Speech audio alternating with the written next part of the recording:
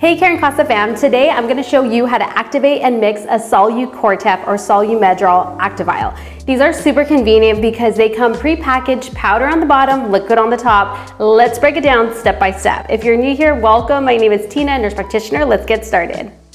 Step one, let's identify the vial. So here it is, your Act-O-Vial.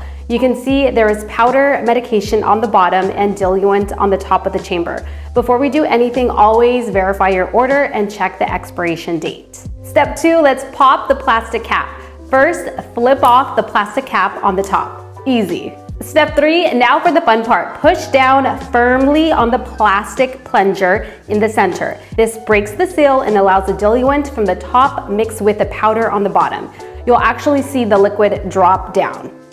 Step four, mix it up. So once the liquid is in, give the vial a gentle swirl until the powder is fully dissolved. Don't shake it hard, just swirl until it's nice and clear. Step five, draw up your dose. So clean the stopper, insert the needle like a dart in the center, inject the air of the ordered dose to be withdrawn.